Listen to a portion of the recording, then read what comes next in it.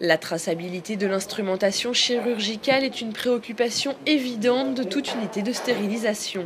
Depuis plusieurs années, le centre hospitalier de Chambéry a opté pour une traçabilité individuelle des instruments afin de répondre efficacement aux exigences de sécurité sanitaire. La traçabilité globale qui consistait à tracer l'instrumentation au travers du contenant et non du contenu n'était plus suffisante. On sait que les instruments chirurgicaux ont une tendance naturelle à nomadiser depuis euh, leur boîte d'origine et à se déplacer euh, au cours de leur utilisation, soit au cours de l'intervention, en fin d'intervention, lors de la prise en charge en stérilisation et qu'ils ne sont pas pérennes dans la composition à laquelle ils appartiennent. Chaque instrument est pourvu d'un code appelé code data matrix. Ce code à barre de très petite dimension rend l'instrument unique. Pour lire ces codes, les agents utilisent cet appareil, le White Reader. Il est capable de lire tout type de code des plus petits aux plus dégradés et quelle que soit la taille, la matière, la surface de l'instrument.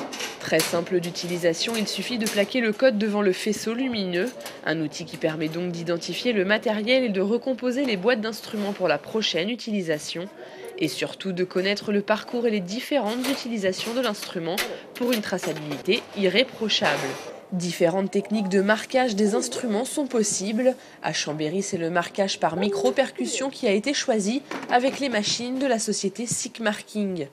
Le marquage est réalisé sur place par les infirmières ou le personnel formé à cette mission.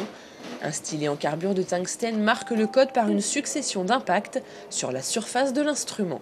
C'est très très euh, mécanique. On, commence à immobiliser euh, l'instrument sur la machine euh, de gravage. On cherche une position adéquate pour que, le, marquage soit bien visible.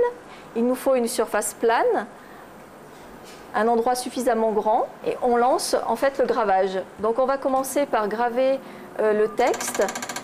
Principal atout de cette machine, son ergonomie. L'intégration d'une caméra permet de positionner très précisément l'instrument par rapport à la zone de marquage. La taille, la forme, les espacements des impacts sont ainsi parfaitement contrôlés sur les axes X et Y. Le marquage est ainsi permanent et n'altère en rien la structure mécanique de l'instrument.